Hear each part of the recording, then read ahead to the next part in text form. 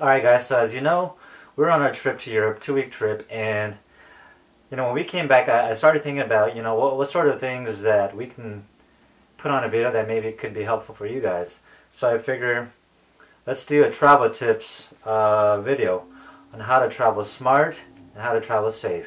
And you know, it's fun because we're watching a movie by, I think, Will Smith called Focus, and in it, you know, he's got this big ring of uh, uh, pickpockets and thieves and you know scammers. And and then it shows you the different ways people steal things you know especially targeting tourists. So then that got me thinking about this video too. So you know as we're going through the streets of you know Edinburgh London and then uh, Rome and Paris we felt you know I felt uh, kind of safe in what we were carrying. Maybe because we were more informed and um, we planned for everything. So I figured if I can you know share these tips with you guys um, maybe it'll help Anyways, I got a quick list here of how to travel smart and safe. Just three things. First thing, number one, is gear insurance. Make sure your gear is insured. You know, if if you're gonna do this as a hobby and, and get serious into uh, your photography, everything's gonna add up and it's gonna get expensive to replace if it already gets stolen.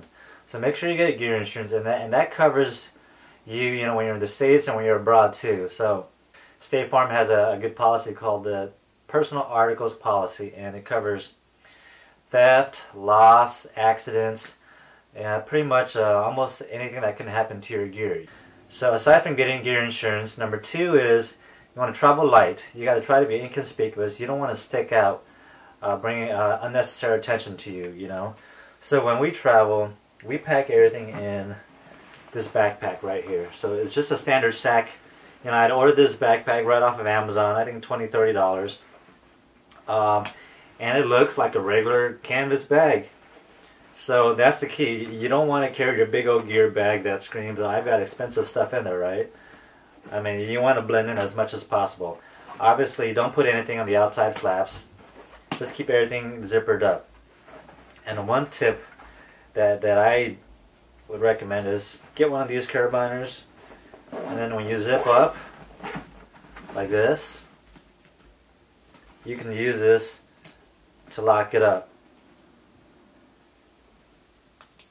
That way it's locked up and you know it takes a little more effort than someone just coming by and zipping up to get your stuff right as you're wearing it. What we also do is we have this little insert, padded insert, and you can buy this off of Amazon too. And I'll make sure to share all the links to the things, all the products here, so that if you wanted to, you can get this as well. And you know, you've got, you know, Velcro dividers in here like a typical camera bag. And these come in different sizes that you can fit, you know, to your bag. So make sure you get the measurements right.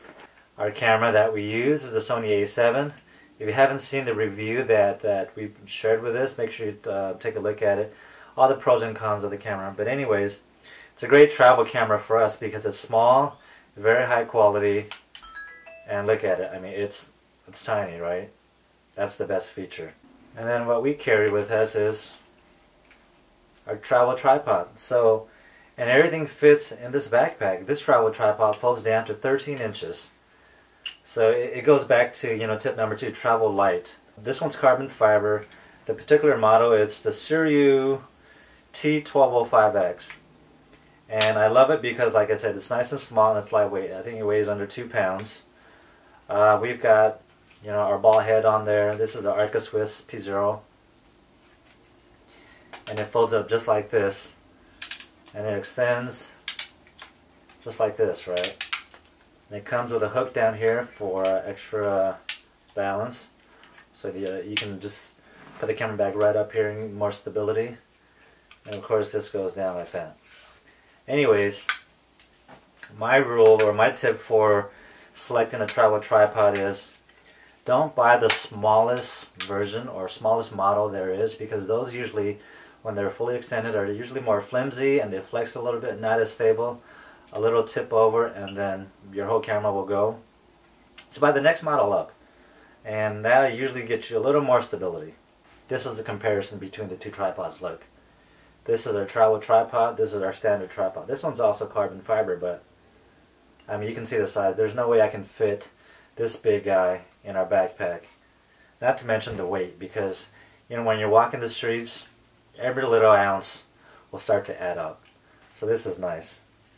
And carbon fiber versus aluminum. Um, at this size, you know, the weight difference won't be too much between carbon fiber and aluminum, but I feel like the aluminum will flex a little more at this size. So the carbon fiber will be more rigid than aluminum, especially at the, the smaller legs on the out, the end parts. And not only that, carbon fiber absorbs more um, vibrations too. This all fits inside, look at it. It fits up, the camera fits in there, the lens fits in there. You know, our laptop fits in here, our 13 inch laptop, and it zips up. And as we're walking the streets, this is it. Nothing's sticking out, nothing screams, hey, I've got lots of expensive gear on me. I've just got random junk in here. You know, so make yourself less of a target and you'll be safer. When you're traveling light, right, you want to be able to have everything fit in your bag. But not only that, you've got to be able to carry it with you because when you're traveling, rule number one, never check in your gear. Have you seen the videos online where um, what what happens to your baggage and your luggage when it's in checked gear? Man, they're crazy. There's one instance where it's going on the conveyor belt and a big old electric arm essentially just punches it and it pushes it over to the side and if your gear is in there, oh man, you're screwed. So rule number one is never checking your gear. Always have it on you as carry-on. So another added benefit of traveling light and having everything fit in your backpack is that if you've ever been over there and if you're traveling and you got to ride in the public transit, you know, like the subway or on a bus, when you go during traffic, like where there's a big mad rush, man, there are a lot of people. You know, there are some instances where you're it's like elbow room only, and you're squeezing your way into the subway. Otherwise, you're going to miss it and wait another five ten minutes. This backpack in front of you, or even behind you, gives you a little more personal space. You know, so it forces people to at least be a foot away from you versus being all crammed up. Alright guys, so we talked about gear insurance, we talked about traveling light, now let's talk about traveling smart. First thing you want to do is buy yourself a roll of gaffer's tape.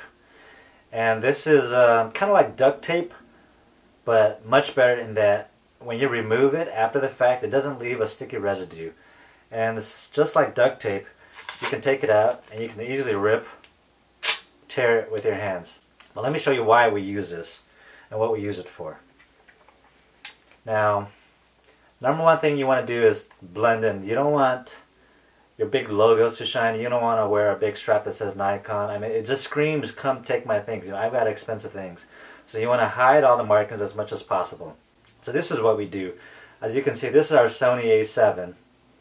But from far away, you wouldn't know that it's a Sony because I've got taped up here. I've got it taped over here. And it blends in. It's just like a camera with no labels in a sense. A black label camera and that helps a lot you know? I think as thieves are walking by they're just scanning with their eyes. Nikon canon sony.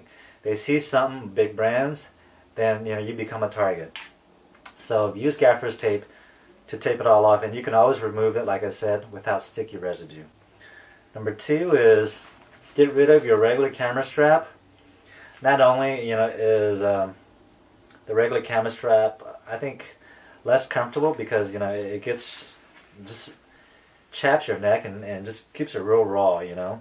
We use shoulder straps but more importantly uh, these straps have no big logo markings on it you know? And you can get smaller ones than this. This is actually uh, something that we use with our DSLRs but we also use this with this camera but look it doesn't say Nikon it doesn't say Canon there's no big old yellow branding on it that says Nikon, you know, Virgin D700, D4S, you know, stuff like that. It just screams, come and steal me.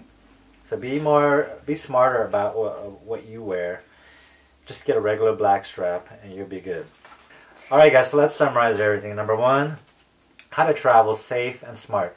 Number one, get gear insurance because you know the, the only worst thing than having someone steal your stuff is getting stabbed in the face, right? That's not worth it. So get gear insurance. Number two, travel light. Have everything with you. Uh, a, small backpack, travel a light, lightweight light uh, tripod, small camera, whether it's a point and shoot, a, a mirrorless camera, keep something small and inconspicuous. And then number three, make sure you blend in. Travel smart. cover your logos, get a generic strap. You want to blend in. You don't want yourself to be a target. You know, I think the more educated you are, uh, the safer you'll be when you're traveling. Hey guys, that's it for this quick tip. Hopefully this helped you guys out how to travel smart and how to travel safe. Now if you've got some tips, you know, just share it in the comments section and I think everyone uh, that's seeing this will appreciate it. Alright, that's it guys. Thanks. Is it worth, you know, getting a knife in the face or getting stabbed in the gut? Uh, that's that's gonna ruin your your trip.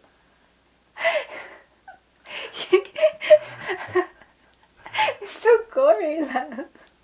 Let us know in the comments, okay? Alright, bye. Bye. Alright guys, bye.